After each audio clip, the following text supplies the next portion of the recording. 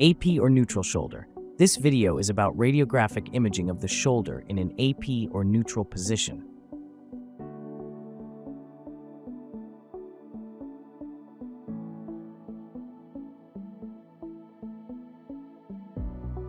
The patient's preparation for a routine shoulder x-ray includes the following. Check the patient's identity. Have the patient remove metal objects from the area being imaged.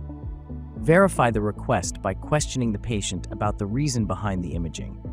Explain the exam or the procedure that you are about to begin with. Check if the patient is pregnant. As for radioprotection precautions, we may place shielding over the gonad area and pelvis.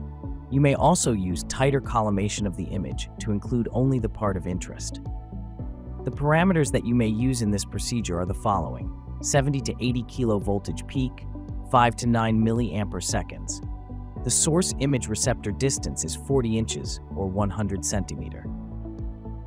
The patient position starts with the following. The patient is standing straight with their back against the image receptor.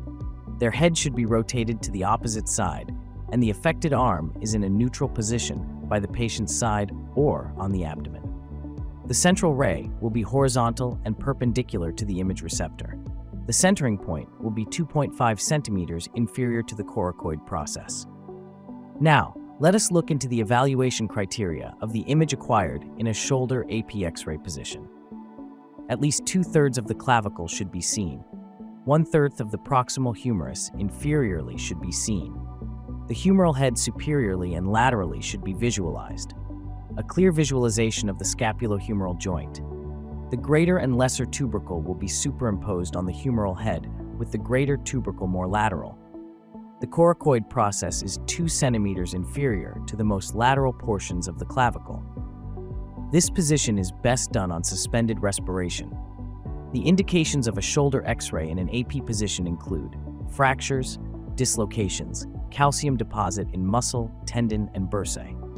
Visit medical-professionals.com to access the complete 3D guide for radiographic positioning and protocols. It is easy to use and 100% free. Don't forget to like and subscribe and follow us on our socials to view more X-ray positioning videos and other radiology content.